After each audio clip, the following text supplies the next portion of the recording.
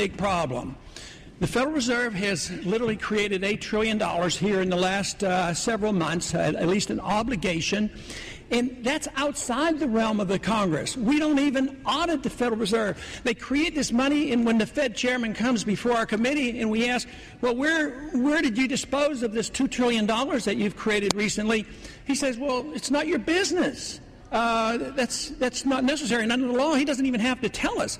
So this is how out of control this is. Sure, there is a lot of debt in the, in the, uh, in the, in the economy. And once a government or corporations get an excessive amount of debt, it's never paid for. So, yeah, we can transfer around. We're dealing only with finding victims.